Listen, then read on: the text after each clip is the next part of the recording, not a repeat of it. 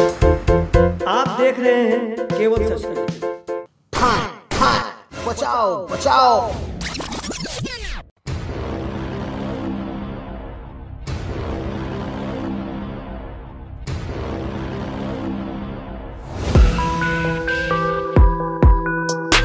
करुणा और रुदन भरी गूंज से राजधानी पटना समेत पूरा बिहार भय के मारे थर थर काँप रहा है। फिर उसी दौर में 1990 से 2000 के दौर वाला वक्त दिख रहा है। कब, कहा और कैसे कोई किसी को मौत की नींद सुला दे, यह भय में सूबे की जनता जीने को आज विवश हो चुकी है। बिहार की राजधानी पटना में एक बार फिर से अपराधी बेलगाम होते दिख रहे हैं।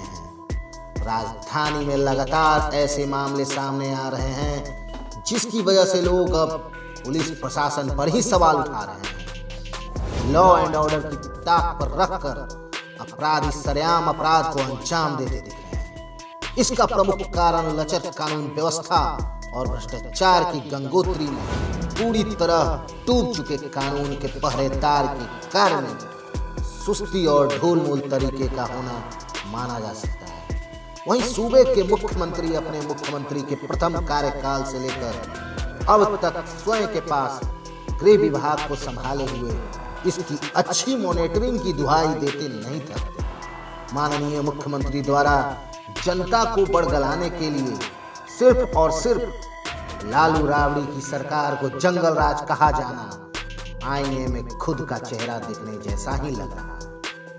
अगर लालू राबड़ी की सरकार में अपराध का तांडव देखा गया था तो फिर वक्त के हालिया वारदातों को देखकर नीतीश कुमार की गठबंधन वाली सरकार में हर रोज खून से पटी राजधानी, पटना समेत पूरे बिहार की सड़कों को देखकर भला कौन सा मंगल राज इसे कहा जाए।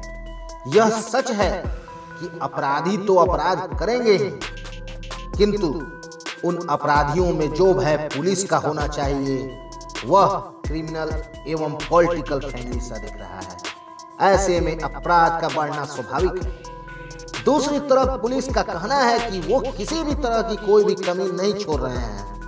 वहीं इसके बाद भी पिछले महीनों में कई केस को लेकर पुलिस को कोई बड़ी कार्रवाई नहीं कर पाई हालात ऐसे हैं कि प्रदेश के अन्य जिलों की बातें अगर छोड़कर सिर्फ़ राजधानी पटना की ही की जाए तो बता दे कि विदेश कुछ एक महीनों में अपराध को चरम पर देखा जा सकता है। राजधानी होने के नाते यहाँ पुलिस मुख्यालय है। यहाँ पर डीजीपी और गृह सचिव बैठते हैं। एडीजी के अलावा आईजी, डीआईजी के साथ ही वरीय पुलिस अधीक्षक समेत राजधानी को अपराध रोकने में मदद के लिए अलग से तीन तीन नगर पुलिस अधीक्षक हैं। कुल मिलाकर कहें तो पुलिस का पूरा कुनबा इसी राजधानी पटना में कार्य करता है। दावा तो यह करता है कि हम तीन सौ पैंसठ दिन जनता की सेवा में सक्रिय रहते हैं। बावजूद पुलिस की इतनी बड़ी तादाद होने के बाद भी अपराधी इन्हें मुँह चिढ़ाते दिख रहे हैं। कल तक जो अपराध छुप छुपा कर होते थे, आज सड़कों पर खुलेआम हो रहे हैं और पुलिस मुख दर्शक बनी हुई है। आज राजधानी पटना के हालात अफ़गानिस्तान और तालिबान से कम नहीं दिख रहे गौरतलब होगी राजधानी पटना में बीते महज कुछ एक महीनों की रोंगटे खड़े कर देने वाले वारदातों पर प्रकाश डालते हैं, जो पुलिस महानिदेशक एवं वरीय पुलिस अधीक्षक के साथ ही मुख्यमंत्री सह गृह मंत्री को मुँह चिढ़ाने के लिए काफ़ी है।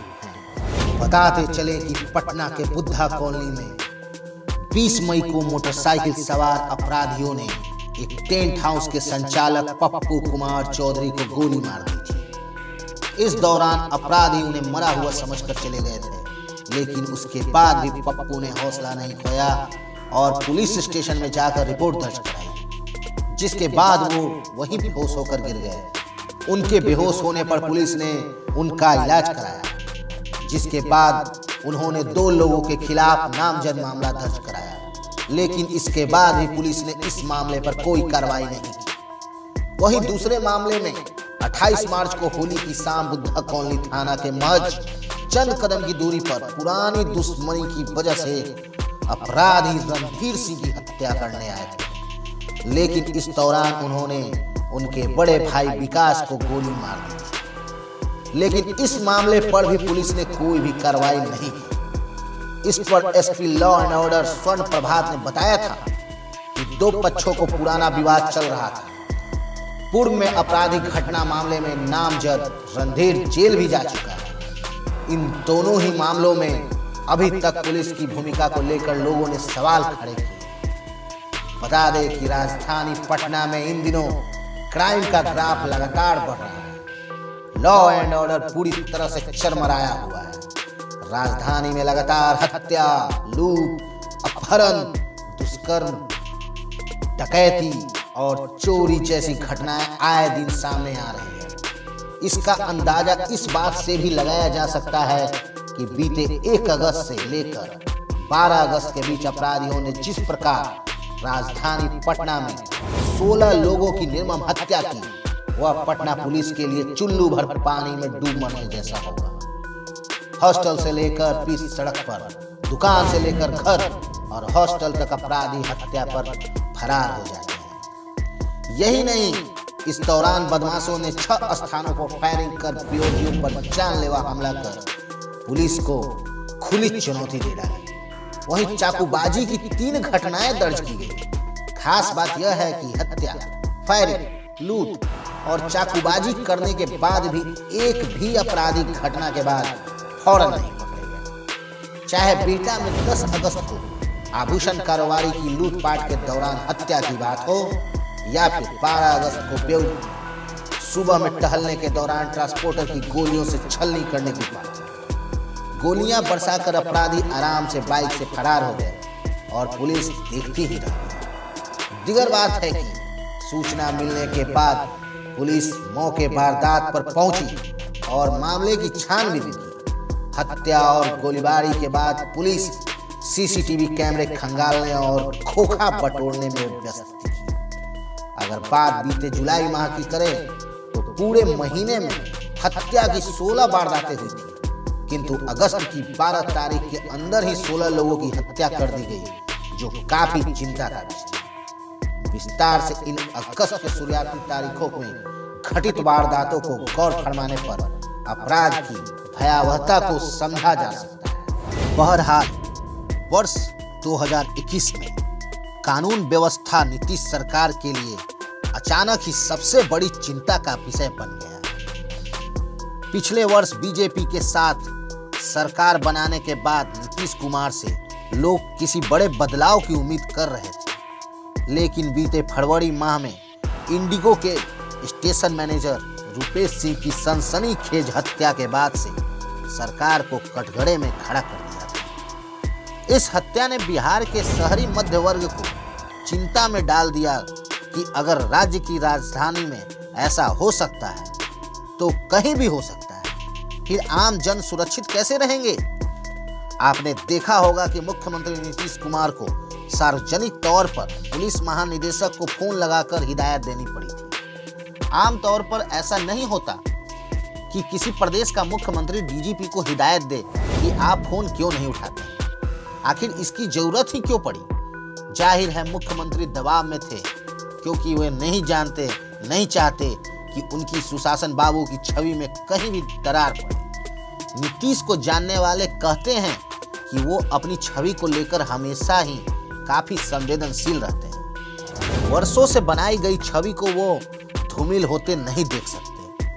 वहीं इन दिनों मुख्यमंत्री के ऊपर दबाव इन न सिर्फ़ विपक्षी आरजेडी से है, बल्कि सहयोगी बीजेपी के अंदर भी बहुत से लोग दबी ज़ुबान में बोलने लगे हैं कि उनसे गृह विभाग संभल नहीं रहा। इसलिए गुंडे बदमाशों का मनोबल बढ़ता है।